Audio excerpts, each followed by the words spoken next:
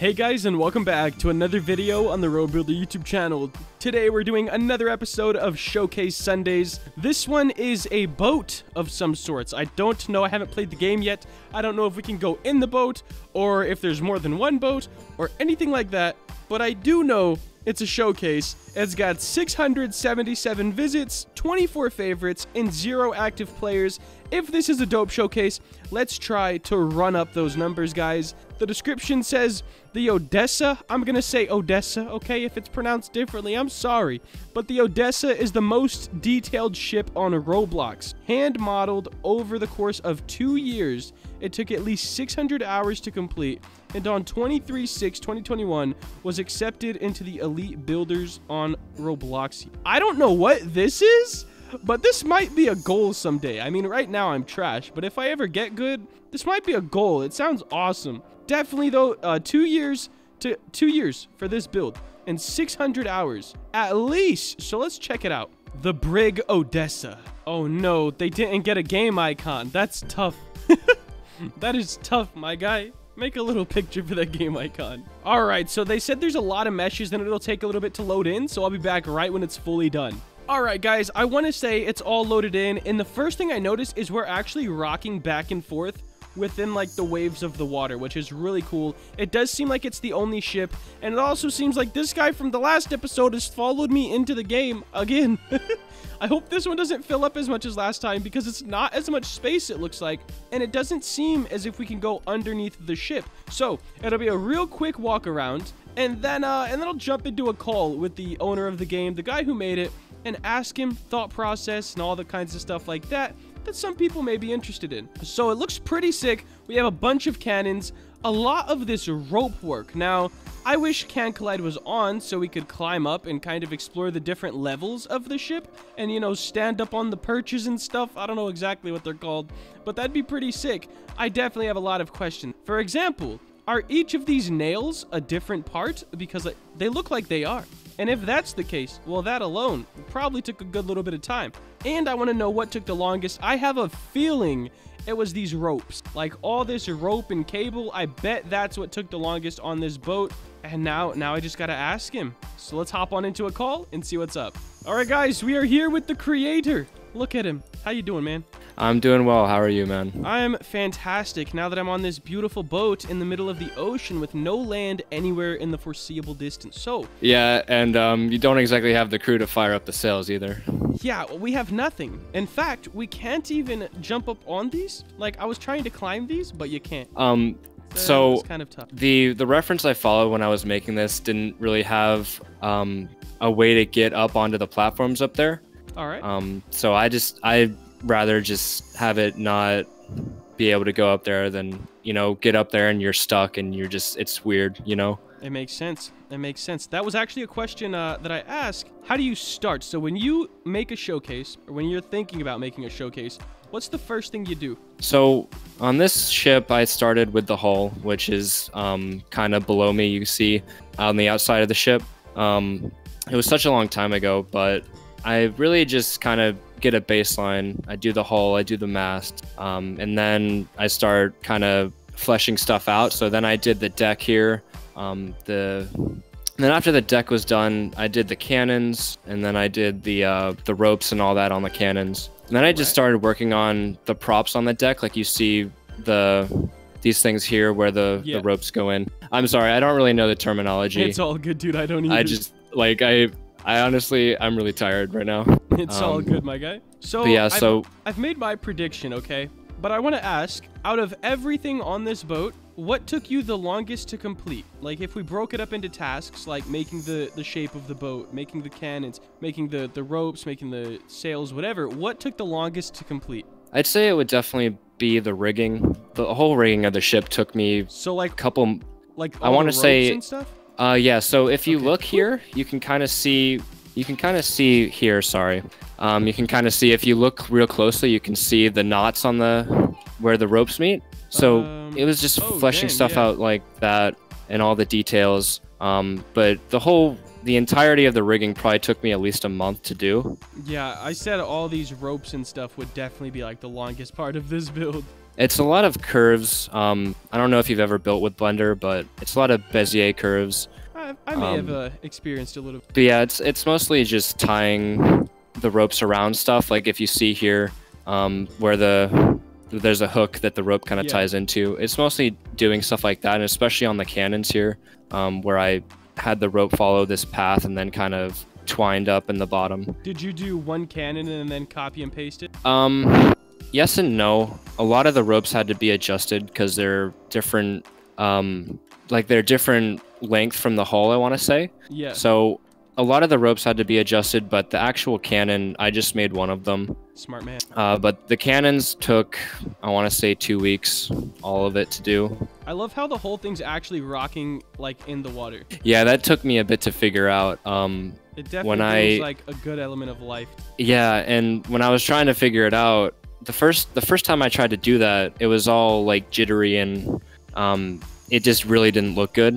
But then I figured out how to do it. I welded everything together and had to rock back and forth.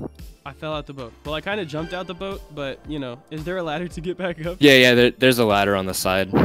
Oh, it's the other side. I'm swimming slower than I've ever swam in my life. Like, this is the slowest swim. All right, and then I don't. Yeah. Right. Oh, boom! I'm back up. Oh, I'm kind of thick, so let me just go inside. All right. What is there anything else that you would like to tell us about this build? Um, it's kind of hard to see, but if you look on the side of the ship, um, I formed planks to the side, and That's not. That's not a texture.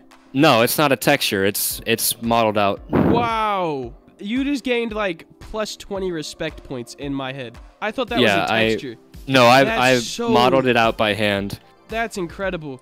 and um, dude, that I'm not gonna lie, that took me so long. I had Oh, to man, restart it just a bet, couple I times. bet it would just be in rage inducing. I thought Oh, it it was, was. a texture. Wow. No, there. So on this boat, there are no textures, um, no really anything other than the basic Roblox materials. So every kind of crevice, every uh, kind of area where you see it has some depth to it. That's all modeled out. That's incredible. So the deck's modeled out. You can see the nails in the in the planks; those are modeled Yeah. out as well. Dang, dude. That is plus so many respect points in my book. I was like, you know, a wood texture on the ground and on the side. Just like, because I've used Blender a bit. And doing these planks on the side, trying to get this Dude. like perfect curve. Oh, It was it was it was a migraine for sure. I can't Um, even imagine, dude. I can't even imagine. It said 600 plus hours at least on this? Yeah, so I started it in 2019. Um, I want to say around July 2019. Um, I scrapped the whole ship about two or three times, and I started over because I just wasn't happy with where it was going. And even on this final version, there's a lot of things that I had to restart. Um, the the deck you see is probably my third try. Um, I Yeah, restarted the Great. Like, I love I restarted the planks on the sides a couple times, like. I bet you did. There's no way that was a first try thing. So yeah, 600 hours is a long ass time, and you know I'm sure it does not seem like it looking up front that it, this would take that long. But um, I really wanted to model everything out. I I placed a a premium on not using textures. I wanted it to be really impressive. yeah, definitely. So, and the thing, the most difficult part about making this was there was really no resources for someone looking to build an 18th century ship. So, I pretty much had to teach myself how to use Blender, how to make a sailing ship, and how to fit everything together at the same time. And that's primarily why it took so long to finish. And I mean, at the end of the day, I'm really proud of it. Um, there's some things that I kind of regret not including, like not actually having the sails deployed. Um, Yeah, it'd be cool if you could like make it little interactive. So like maybe press a button over here and then the sails like drop down. yeah, I can. So the nice thing about this ship, and it, it might not be hard to it might be hard to tell. It's only a thousand parts. Nice. So this ship is welded together. I mean, I I can technically script it and you know have it able to like move around. Um, I just don't know how to do it. I never really got into scripting. Hey, I understand. I tried. It, it, it wasn't working out. Yeah, it's not for me, man. It I mean, not working out.